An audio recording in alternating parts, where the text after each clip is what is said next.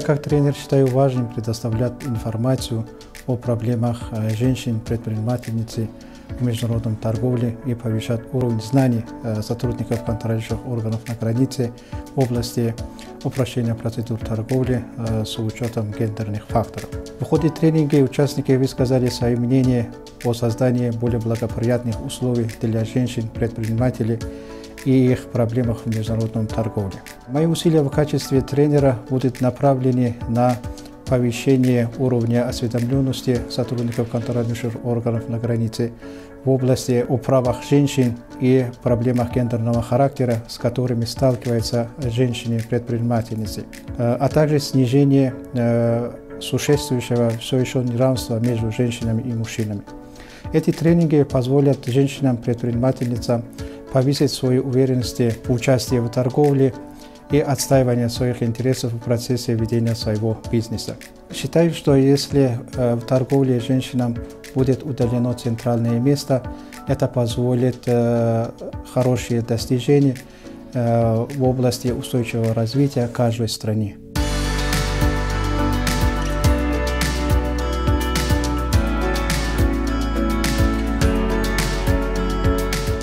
Тренинги по гендерному равенству проходили в городе Худжанде и в городе Душанбе совместно с женщинами-предпринимательницами. На этих тренингах женщины-предпринимательницы могли высказать свои существующие проблемы и найти пути их решения совместно контролирующими органами на границе. В будущем мы планируем обучать новых сотрудников таможенных органов э, на границе проблематике гендерного равенства.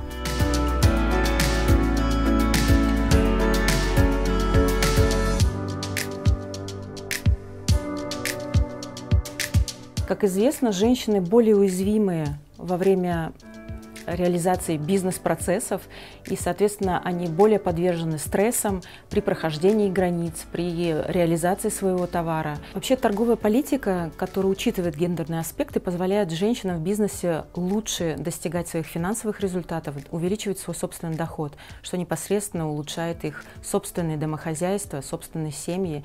И именно этот фактор дает нам возможность быть более уверенным в завтрашнем дне и особенно в благополучии наших собственных семей.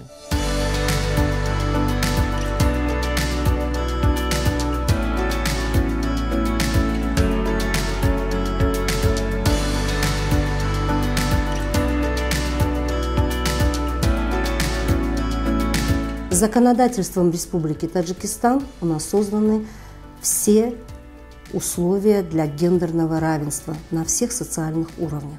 Сожалению, в жизни мы сталкиваемся с проблемами ввиду сложившихся стереотипов.